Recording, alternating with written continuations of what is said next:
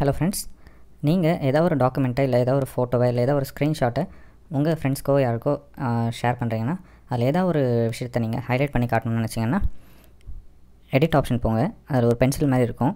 அதை வந்து செலக்ட் பண்ணுங்கள் அதை செலக்ட் பண்ணிங்கன்னா இந்த ஆப்ஷன் வரும். அதை ட்ராப் டவுன் பண்ணிங்கன்னா இதில் ப்ளஸ் சிம்பிள் இருக்கும். அந்த ப்ளஸ் சிம்பிளை டச் பண்ணுங்கள் அதில் மேக்னிஃபையர் செலக்ட் பண்ணுங்கள் மேக்னிஃபையர் செலக்ட் பண்ணி நீங்கள் எதை வந்து ஹைலைட் பண்ணி காட்டணுமோ அதை வந்து செலக்ட் பண்ணலாம். இப்போ நான் இந்த பிக்சரை வந்து ஹைலைட் பண்ணி காட்டணும்னு நினைக்கிறேன். ஸோ இதை ஜூம் பண்ணி எவ்வளோ பெருசு வேணுமோ வச்சுக்கலாம். வச்சுட்டு இந்த பிக்சரை மட்டும் நான் ஹைலைட் பண்ணி டன் அப்படின்னு கொடுத்துட்டா.